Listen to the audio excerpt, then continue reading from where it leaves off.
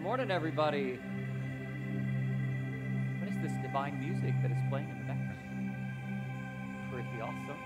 I'm glad to be here in worship with you all today. Welcome. I'm Pastor Lance Richards, and today we are beginning a brand new teaching series called Flourish. And this is a series that's more than a series, it's a, it's a, a campaign. It's a time for us to reevaluate our commitments to God in all areas of our life and to see the next part of the vision God has given the watershed come to life before our eyes. And so it's going to be an exciting journey. Today, I want to talk to you about flourishing in our faith as individuals. That a flourishing faith can change everything. Can change everything. I want to introduce you to one of my friends. His name is Robert. Uh, when I met Robert, I was uh, at a, a, introductory meeting with a new church that I was being called to be pastor at and being appointed to. And uh, Robert wasn't around the table during the interview and the dinner. Uh, Robert just randomly walked through the room, the big fellowship hall we were in, you know, checked the AC, kind of shuffled a few things, and then walk out. And as he left, somebody said, Oh, that's Robert. Robert's one of the patriarchs of the church. He's the bedrock around here. I went, Oh, kind of straightened up in my chair a little bit. It's Robert. You know, and he didn't come across as real friendly in that moment. I just kind of thought, he wasn't really here to check the AC. He was here to check me, right? I mean, he wandered through. He wanted to see what this new pastor was going to be all about, and he left. Well, five weeks later, uh, we pulled up at the parsonage, the church owned home that we would be living in, uh, in our budget truck, pulling my car with Rachel's car caravan behind it. I'd just driven two days across uh, the country, halfway across the country, and all of our belongings on earth were behind me in this big truck. And there was a cadre, it was about 5.30 in the evening, and there was a whole host of teenagers waiting to help unload this truck, and they were all football players, and I was very grateful and tired. And so got the car unhooked, and boy, they started un- unloading stuff from that truck in record time, and I became like air traffic controller. You know, I was put that there, that goes there, the table goes there. Let's carry that in the back room, put that out back, and I was just boom, boom, boom, boom, boom, boom. And I look up, and there's Robert standing uh, in our kitchen, kind of like this like, whoa, where did you come from? I didn't see him walk in. And so I take a break from my air traffic controlling and I go and you know make some small talk and, and Robert says, You're gonna be in the office tomorrow morning at eight? And I look at my watch and I said, inside, of course, you know how you have these internal conversations that you wouldn't necessarily have outside. I said, hmm, it's now about seven o'clock in the evening, and I haven't unpacked a single box. I don't know where my socks and underwear are right now. I'm tired. I've been driving across the country for two days. Yes, I'll be in the office tomorrow morning at 8. I learned that Robert was the church treasurer and that I would be working really, really closely with him. Uh, consequently, Robert walked out at that point, and I resumed my flight attending duties. He walked out the back door. And I began to wonder is this really our home?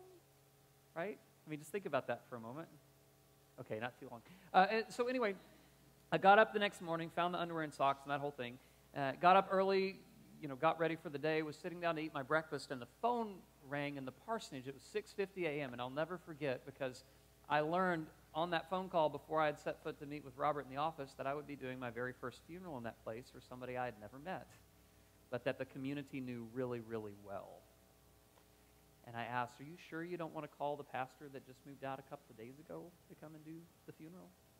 They said, No, we want you to do it. Well, I walked into the office at 7:55 and Robert was there. And he already knew that I would be doing a funeral for somebody I'd never met before, but that he knew really well. And there was another challenge. The pastor, the church decided to turn over pastors at the same time they were refurbishing their entire sanctuary. So the construction crews were still in the building working, right? And so we rushed that through together, and, and the first service in that newly refurbished 150 year old sanctuary was actually the funeral. But Robert journeyed with me, and I felt like by the time I got to the service, I knew the person that we were celebrating and remembering and commending to God that particular day. Robert and I grew really close. I, I found out that you shouldn't judge a book by its cover because Robert wore hearing aids in both ears. He spent his life working in a plant, and he all but lost his hearing in his daily responsibilities. And so, in a crowd of people, he doesn't say a lot because it makes his hearing aids feed back. And he feels very awkward in those situations. I saw Robert every Monday morning when he was religiously there to count the money, do the deposit, and do our bookkeeping. I saw Robert every day as he picked up the mail from the post office, because that's what you do in a little small town. You go to the post office to get your mail. Well, Robert did that, and he'd bring it in, and I'd get to talk to him every day. We journeyed through a lot together. Robert and his family, three generations, sat on the front row, just to my right. They were always about this close when I preached, and, and I, I watched that family welcome in new children. I, I, got to preside over the wedding of several of his grandchildren, saw great grandchildren being born, saw families dividing and going their separate ways within that extended family. And, and I remember one another morning the, the phone rang in the parsonage, and it was about 6.30 in the morning, and I found out that Robert's son had been involved in a tragic accident. And next thing I knew, I was standing next to Robert by his son's bed in the ER at the trauma hospital. And I journeyed with him to the graveside as we laid his son to rest and walked with him for years afterwards. And I saw within Robert a deep and abiding faith that changed me.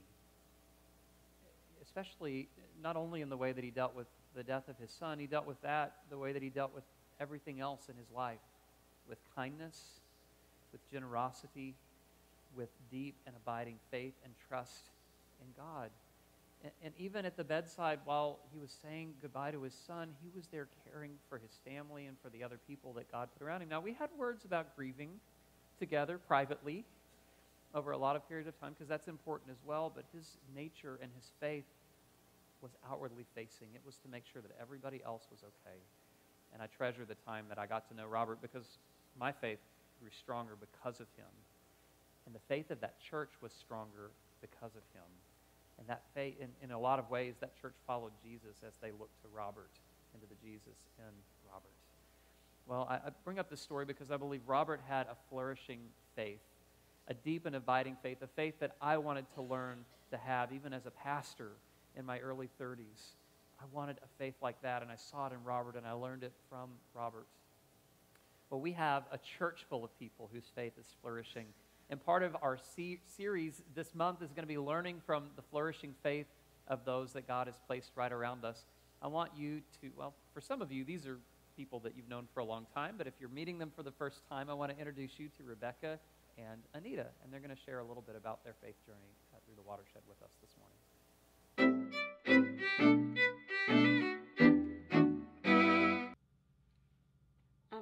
Always been a part of a church uh, ever since I can remember. I can't remember not being, and I feel very blessed to ha- have that as a foundation in my family, and for that to be an important part of my life that way. I, I feel like I wouldn't have as strong of a family if we didn't have our faith as our foundation. I came to the watershed uh, when the church was first built. I was raised a Methodist and had attended several other Methodist churches around here and had not found one that I felt like was really my home. And I got the brochure in the mail that said the watershed was going to be opening down the street. And I thought, well, that's really close, so I'll try it. And the first day I walked in, I just fell in love with it, and I felt like it was truly my home. Um, we've been going to the watershed for a few years now, and just wanted to talk to you today about stewardship. Because I love the church so much, I felt like that was something that I had to do. I had to give back to the watershed. And uh, several of my friends and I started volunteering once a week up here at the church helping Paige out because we knew there was so much that she couldn't get to, and we loved her so much we wanted to help. I am a retired teacher, so I got involved into Dive into Worship with a lot of insistence by Tanya. But I love that because we get to work with children of many different ages and many different personalities. And through working into Dive into Worship, I got to be really good friends with a lot of special people here at the watershed that otherwise I may not have met. Um, I've really uh, used my sign language most there to the praise and worship music. And I, I just, I really uh, enjoy doing that, and I really feel like um,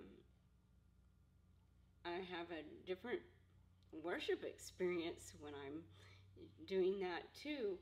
Uh, it's worshiping in a, a, completely different way, and uh, I find it really interesting. You know, going through that process, it makes you really have to think about what the songs are actually saying. What what's the actual meaning? Because you don't just do a translation that's word, word, word, word. You're translating the concepts. So you really have to think what does that actually mean, you know? The watershed is truly a home to me. And when you're at a home, you do stuff as the members of a home, but also you learn to become the hands and feet of God. So I, I know Anita and I know Rebecca, and I know that they have a flourishing faith that is lived well beyond the sanctuary. It's a faith that you can see and experience wherever it is that they are as they shed God's love to anyone who's in front of them. They both will tell you how they witness every day, and it, it just exudes from them. A flourishing faith changes everything. It gives you a perspective on life that you wouldn't get any other way. It helps you to truly be in step with God. It allows you to take your cues about who you are through God's eyes. There's nothing like it. And it changes your life, and through you, changes the world. Throughout the series, I want you to know this fundamental truth that when you flourish individually in your faith, then you lead the church to flourish because we all are the church, a part of the body of Christ, and a church is only as alive as its members are alive spiritually. So, for this church to come to life, you have a part to play in it, and we need every one of you to be flourishing in your faith through the Holy Spirit. But a church that flourishes leads the community to flourish.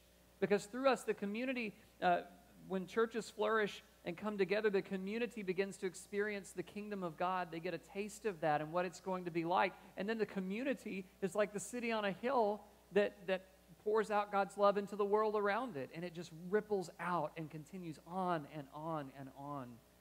And so I want you to hear as I begin today that your faith matters profoundly. It not only shapes the direction of your life, but it can shape the direction of the lives that God places around you. And we're going to dig into some scriptures that tell us just that. Our theme for this Flourish series comes from Ezekiel 47. And, and I picked this, this text when I was praying about what to do in the fall this year about a year ago. It was well before Harvey was even something we were thinking about or had lived through together. And you're going to find in this passage a, a water or flood metaphor. And I actually really wrestled with whether or not to have this continue to be the theme and God kept saying, Keep it. But you've all been through this common experience together, and it has been hard and it has changed you, but, but you understand what this metaphor means so much more deeply now than you would have before the storm. And so I commend this passage to you with the sensitivity of, of what we've all experienced together. But to me, this text epitomizes what it means to be the watershed. I'm going to read it from the message translation today. So if you've got NIV or NLT or something else, it's going to look a little funny. Uh, but listen closely to these words, and I hope that they nourish your soul as we read God's word together. Now he brought me back to the entrance to the temple. I saw water pouring out from under the temple porch to the east. The temple faced east. The water poured out from the south side of the temple, south of the altar. He then took me out through the north gate and let me around the outside to the gate complex on the east. The water was gushing from under the south front of the temple he walked to the east with a measuring tape and measured off 1,500 feet, leading me through the water that was ankle deep. He measured off 1,500 feet, leading me through water that was knee deep. He measured off 1,500 feet, leading me through water that was waist deep. By now it was a river over my head, water to swim in, water no one could possibly walk through. He said, Son of man, have you had a good look? Then he took me back to the riverbank while sitting on the bank, I noticed a lot of trees on both sides of the river. He told me, This water flows east, descends to the Araba, and then into the sea, the sea of stagnant waters. When it empties into those waters, the sea will become fresh. Wherever the river flows, life will flourish. Great schools of fish. because the river is turning the salt sea into fresh water. Where the river flows, life abounds. Fishermen will stand shoulder to shoulder along the shore from the Engedi to all the way to the En-eglaim, casting their nets. The sea will teem with fish of all kinds, like the fish of the great Mediterranean. The swamps and marshes won't become fresh, they'll stay salty, but the river itself on both banks will grow fruit trees of all kinds. Their leaves won't wither, the fruit won't fail. Every month they'll bear fresh fruit because the river from the sanctuary flows to them.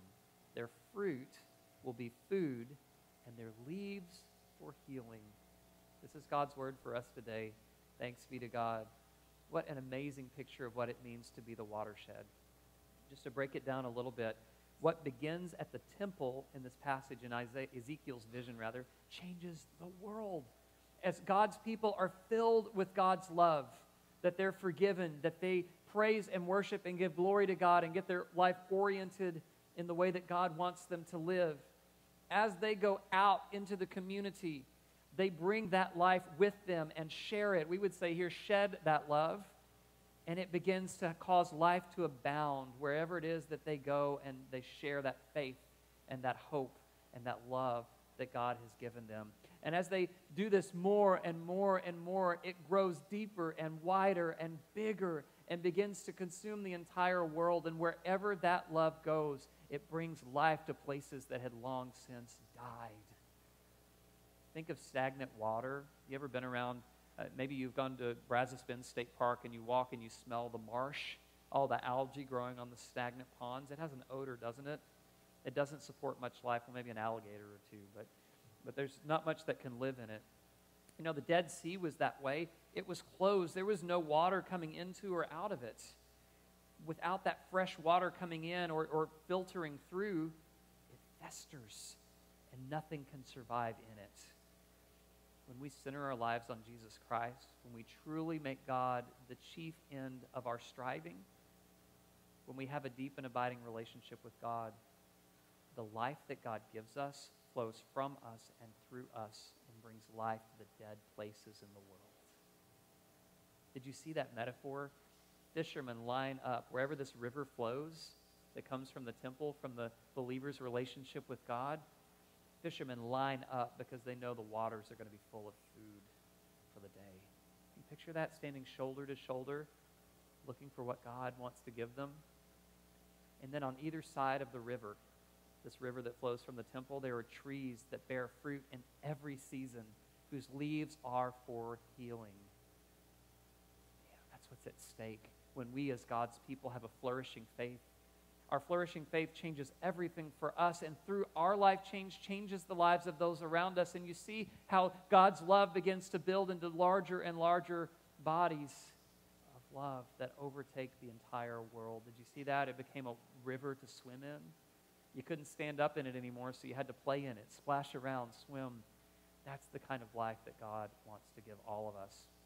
Here in March, we adopted what we call the 15 1500 vision. And the numbers really have nothing to do with the vision fulfilled. They're just there to remind us that, that God calls us to grow. And it's not about numeric growth, it's about spiritual growth. But if we are growing spiritually and our faith is flourishing, we better be ready for what God's going to bring.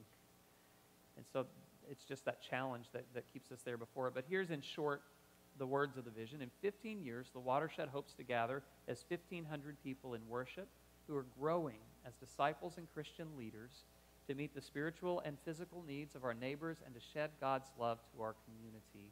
But here's the picture of the vision fulfilled. You ready for this? When we live this way as an individual and as a church, children will have everything that they need in the community to flourish. Marriages will be strengthened, not weakened.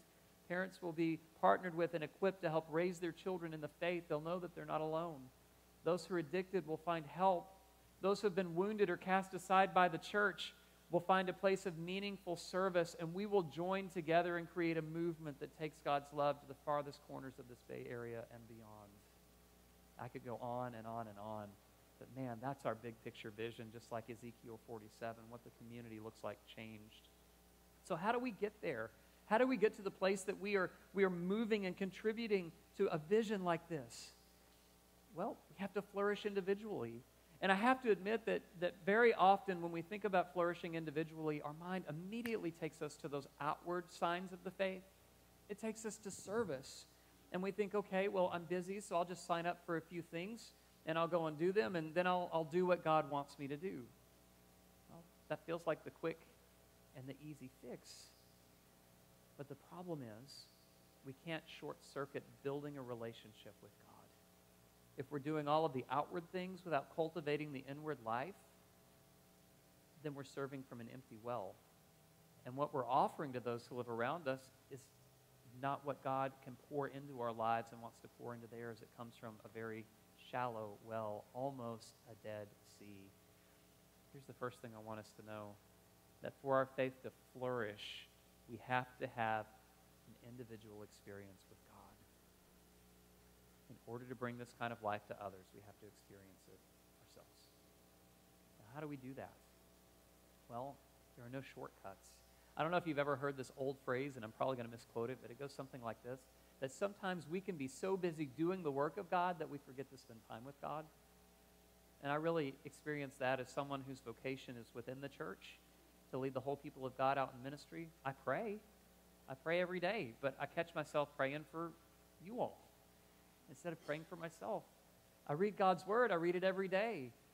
But if I'm not careful, I'm reading for the next sermon and not listening to how God is speaking a word into my life. You see this? I fall into that trap even as a pastor, too. Even though I'm doing all the right things, sometimes I get into this place where I realize I'm not cultivating my relationship with the Father. I'm not listening. I'm not praying. I'm not letting God do his work in and I find myself pouring out from an empty well.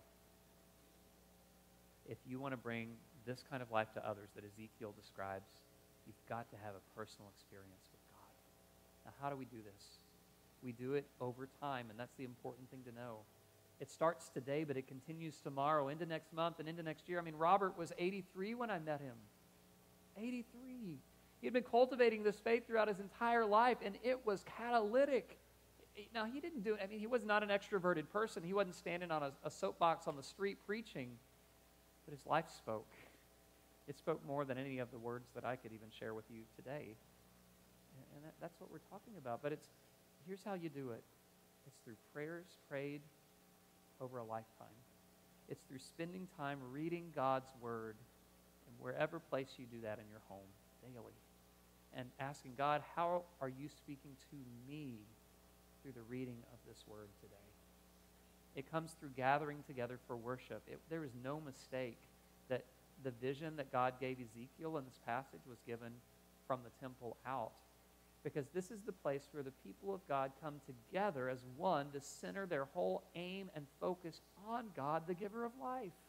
That's what we do when we come together and why it's so very important that we not neglect gathering, as it says in Hebrews, together, as some have been in the habit of doing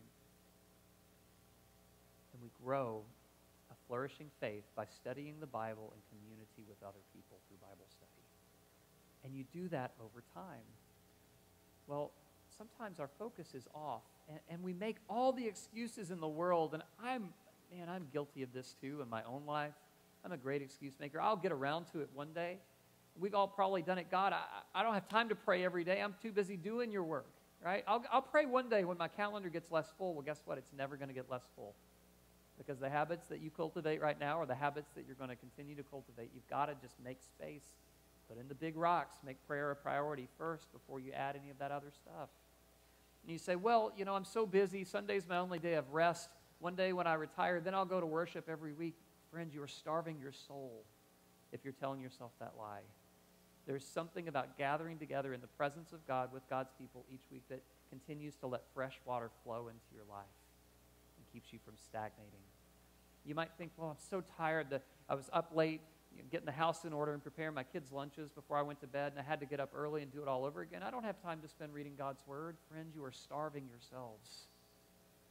Make it a priority. Bring fresh water in so that God will fill your well. You want to know the truth? And when I really got down to the bottom of this, this was the praying this text for me moment in preparing for this sermon? We don't want the cost. We don't want the cost. God has this fountain of living water that he's ready to give us and we say but god it will cost me too much. It will cost me everything. I'm not i don't know if i'm ready to change my life. I'm not know don't know if i'm ready to give everything to you. I just want to hold on to this myself.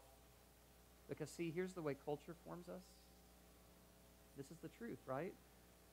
We pursue the next bigger paycheck the next biggest house the next new car the next dream vacation and we'll show up to worship whenever we're feeling empty oh man, things aren't going my way again. I've reached the end of myself. Let me go to worship, get my hit, get my quick fix, and then I'll be about my work again. And we show up to worship and it doesn't do for us what we thought that it should do. And then we leave empty and we go, well, that was a waste of time. But it's not about us. And it's not something that can be cultivated in a moment. You walk in, you're, I'm magically filled up again. I'm ready to do this thing. No. It's cultivated over time as we build this deep and abiding relationship with God, think about how you fall in love with someone.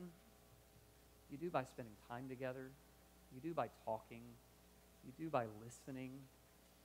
It's no different. You can't short circuit this, you can't shortcut this relationship with God. If you want a flourishing faith, you've got to spend time with God every single day. And I want to tell you, Proverbs gives us a great way to frame this in Proverbs 11 28. Check this out it says, A life devoted to things is a dead life, a stump. A God shaped life is a flourishing tree. Now, do you see this? When the passage, when Jesus teaches, seek first the kingdom of God and God's righteousness, and all of this will be added to you as well, that's the God shaped stuff. He says, Look, culture, you've got it backwards. Instead of pursuing your own ends and trying to live like everybody else, pursue God's ways first and then see that God helps you prioritize all the stuff that He's going to bring into your midst. Then you'll know what to do with it. Then you'll become that river of living water that lets God's goodness flow through you to bless others. But if you've got it backwards, that's when you're going to stagnate and get stale, and you're not going to experience life that abounds within your own. Did you see that? That kind of life that's lived in pursuit of things is like a stump. I don't know about you, but I've never seen a stump become a big tree again. I've seen little trees grow beside a stump and kind of attach to it and go up. It's a different tree. But I've never seen a stump produce a big tree. It's a, it's a life that's lopped off. But did you see what a God shaped life looks like? What does it bring about? A flourishing tree. Doesn't that remind you of Ezekiel's words? A tree that brings fruit for every season and whose leaves are for healing? when you seek first God's kingdom and God's righteousness, what you do with your stuff falls into line, and it's a pretty amazing thing. There's a psalm, Psalm 42, 1 and 2. Let these words sit deeply in your soul for just a moment. As the deer pants for streams of water, so my soul pants for you, my soul thirsts for God, the living God. When can I go and meet with God? that's how you begin to cultivate a flourishing faith. You make God your number one chief aim. Your soul has to thirst for God. Think about a runner for a moment. I, I spoke with somebody who was running the other day, and her legs gave out because she hadn't hydrated. She had to quit running. But when she hydrates, she's ready for the race, to run the race to completion. And it's the same thing. Just as we should quench the thirst with water to be able to be a good runner, we need to, to, to quench our soul with the water that comes from God so that we can finish the race with faith and persevere to the end. But we have to long for God more than we long for the next higher paycheck or the next newer car or the next dream vacation. Now, this doesn't mean that following God means that you've got to quit your work and live in a bungalow. Not what I'm saying at all, although God might call you to do that, and that might open up some pretty exciting possibilities. I just talked to somebody who sold their home, moved to a new place, and is living on a small boat on the water in Kemah. That's awesome. And waiting for the next thing that God's going to do. But do you see the priorities that that shows?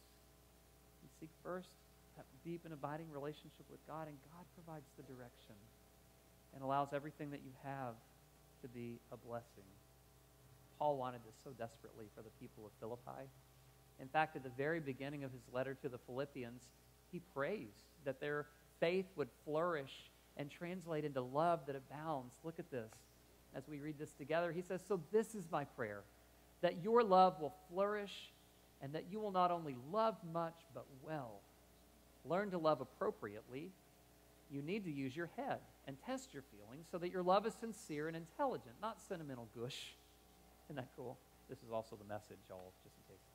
Uh, live a lover's life, circumspect and exemplary, a life Jesus will be proud of, bountiful in fruits from the soul, making Jesus Christ attractive to all, getting everyone involved in the glory and praise of God. See, doesn't this bring that Ezekiel passage to life?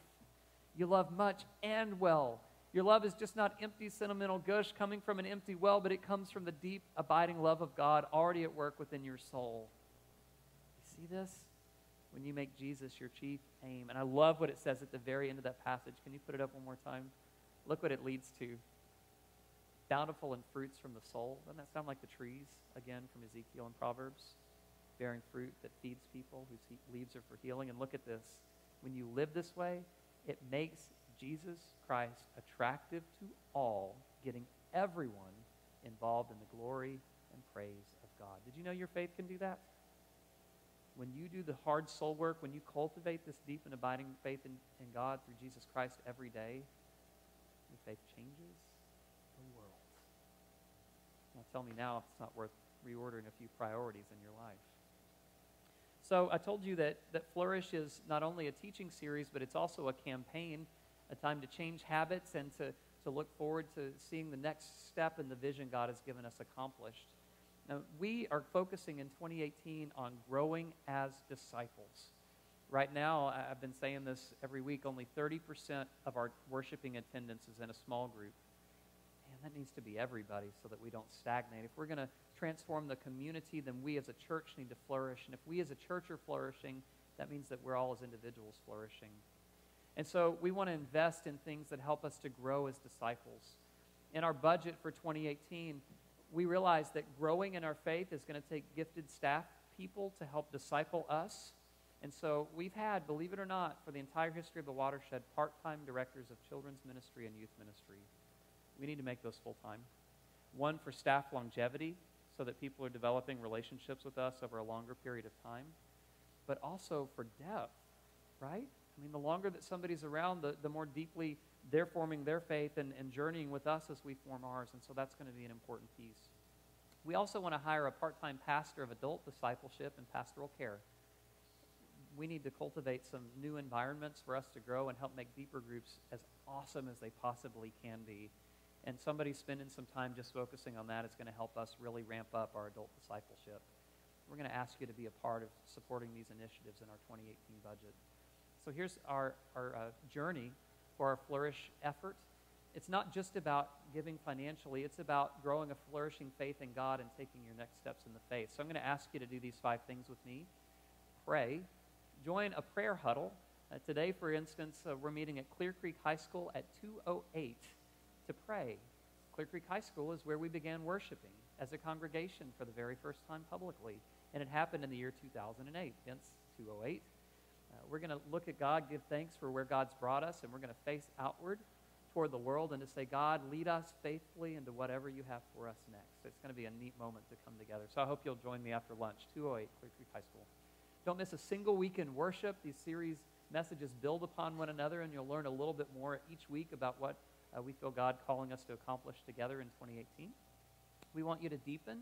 Uh, we have a new Tuesday group. If you're not in a deeper group, that's going to meet right up here. Information there in your bulletin about that. And so we hope you'll join the study for these four weeks or to study it with your deeper group. We'll have information online uh, by Monday morning, curriculum that you can do with your deeper groups or as individuals. We want you to impact. Did you know every Saturday at 8.30 we meet up here and we go out and, and serve in a flood uh, flood home, helping that homeowner to improve their situation. We get new homes in all the time, and if you'll show up Saturday at 8:30 right here, we'll send you out. And then we wanted to culminate in supporting the 2018 budget and making a pledge to do so. We've never really done this before. And so we're stepping out in bold faith that, that God's going to provide for the vision that God's placed on our hearts. And so you'll be receiving some information in the mail uh, within the next couple of weeks that will really dig deep into what we hope to accomplish there in 2018. Here's a brief calendar. Uh, you'll see on, on the schedule that we, we worship every Sunday and do our prayer huddle. We do flood relief every Saturday. A couple of notable dates. October 22nd is our Commitment Sunday, where we'll bring those pledges to God and, and commit to take those next steps in the faith. And then we're going to do a prayer huddle after each service on our land that day to prepare for 2032 when this vision of 1500 on our campus is realized. And then on November 12th, we're going to have Celebration Sunday by doing a big church-wide Thanksgiving picnic where we'll come together, hear what God is doing through us, and enjoy games and food on the ground. It's going to be an amazing day. So I hope you'll mark your calendars for that. I don't want you to just hear it from me. I want you to hear from my Anita and my Rebecca, those uh, strong folks, those bedrock of the faith who live among us, to hear what they have to tell us as well as we bring this to a close. Um, we, we are commanded to give of our time and our service and our finances, and I just feel like I'm honoring God by doing that. Okay, now we're going to talk about money, which I know for a lot of people sometimes is a hard subject. And I will be very honest with y'all. I have never tithed until I came to the watershed. It was like I never really felt it in my heart. And I don't know, at one point, one day, John, John God said, Anita, you need to tithe. I do believe that when you step out and give, you you have growth as a Christian. Um, I'm currently still working on that myself. I've been stuck at a certain level of giving for a while myself, and uh, every once in a while, I think, okay, could I give more? Haven't gotten there yet. We're all growing, uh, but I do give very faithfully, and Um, I'm, I'm a firm believer in that. That is part of what being a Christian is all about. Since I have started tithing, it's like that money has never disappeared because God has given me so much love, so much joy. And honestly, the money never does disappear because when you have the love of God in your heart and He comes into your heart, and I will tell you, He will come into everyone's heart if you just open up your heart and let Him in. If you listen to Him, He talks to all of us daily. And He came to me and said, Anita, you will tithe. That is what I expect my children to do. To me, when I when I give, whether it be my time, my service, my finances, it just means I'm honoring God and giving glory to Him. Thank you, Anita, and thank you to Rebecca for sharing a little bit of your faith journey uh, when it comes to flourishing faith with us. Another way that we cultivate a flourishing faith is by receiving communion.